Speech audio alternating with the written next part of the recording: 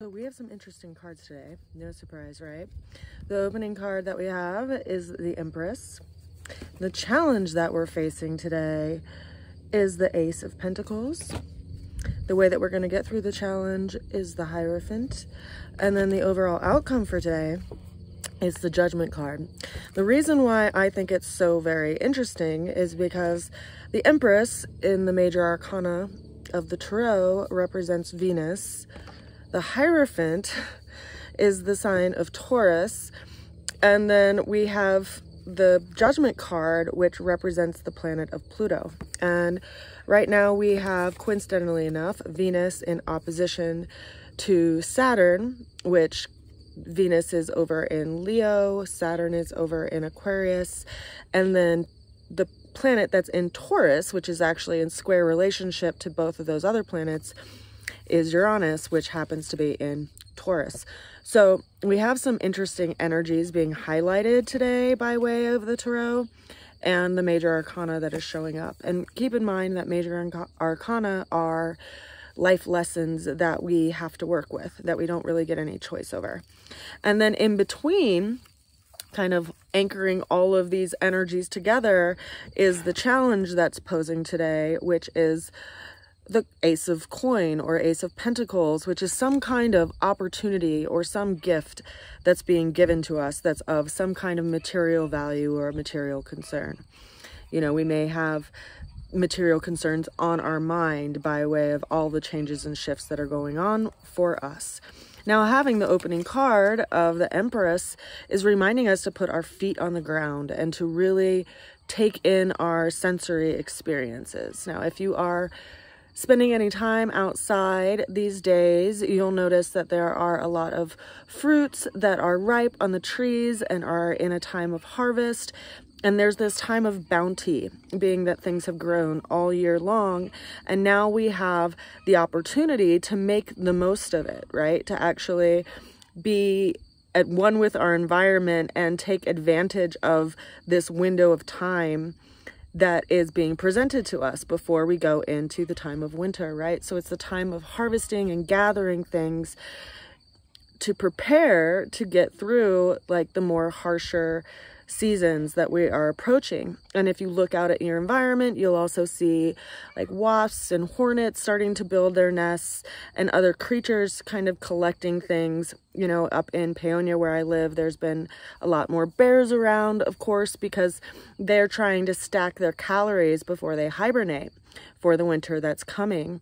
And so there's something that's being, um, that's calling us, you know, to go out into our environment, to go out into nature, and to really um, anchor ourselves in that and appreciate nature for what it has, particularly because Venus is in the sign of Leo right now, and it's really putting our attention our and our energy towards like the bounties of the heart and the bounties of experience by way of what we feel called to develop in our own being, what we really feel called to grow towards. And consider that we have, you know, the sun right now in the sign of Virgo, along with this new moon that we are transversing to, which is a time of new beginnings and, and creating routines that really nurture us and take care of ourselves as we're, you know, going into the time of the winter. Sorry, I'm trying to block out the sun so that it's not like there's intense rays right over my head. But alas, that's what we're dealing with today. Uh, the challenge, of course, is how are we going to take a hold of this opportunity and are we willing to take it into our hands? You know, what are we doing with this bounty that we have available to us right now? And the way we're going to get through that challenge came in as the Hierophant.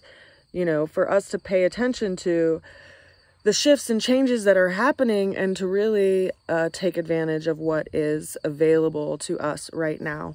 Now consider that the Hierophant is governing the sign of Taurus.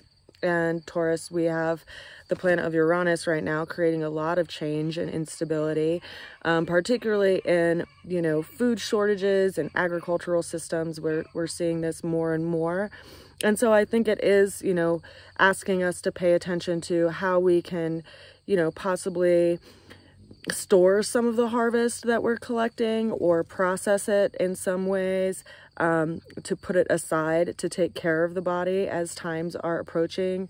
Um, I know I personally am looking at, you know, making certain jellies and jams and, uh, you know, dehydrating some fruits and collecting certain berries to make certain medicinals and therapeutics that I'm going to be offering at some of the festivals that are coming up because nature does provide that for us.